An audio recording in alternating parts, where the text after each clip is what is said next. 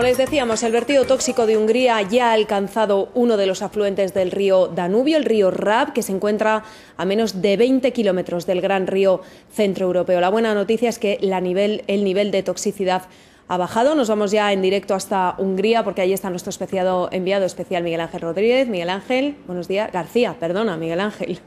Eh, buenos días eh, desde Colontar. Sí, el grado de toxicidad ha bajado porque el barro rojo aquí eh, tenía una alcalinidad, un pH de un tres y medio y lo que han mm, conseguido medir la unidad de desastre de Hungría eh, indica que lo que ha llegado al río Raba y al río Mosón y Duna tiene un pH de 9,2. Y tengo que corregir al mismo tiempo, pedir disculpas por la pequeña confusión de la anterior eh, conexión donde indicamos que esta, este nivel de pH sería extremadamente alto porque, para hacernos una idea, eh, la lejía tiene 12 y medio, es decir, un punto abajo de lo que tiene aquí el barro rojo eh, justo cerca de la balsa.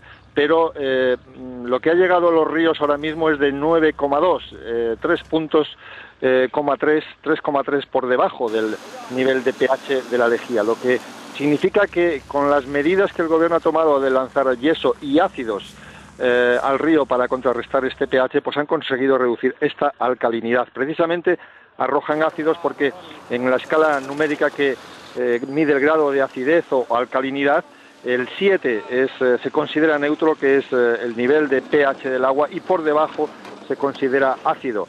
estos ácidos hacen que neutralicen el bajo pH de los ácidos hace que neutralicen precisamente eh, la extremada alcalinidad del barro rojo y de momento parece que han conseguido por lo menos bajarlo a un nivel de un 9,2 todavía alto, eh, pero desde luego eh, bastante menos, mucho menos de lo que cabría temer teniendo en cuenta que, de aquí sale el barro rojo con una alcalinidad, como digo, de un 3,5.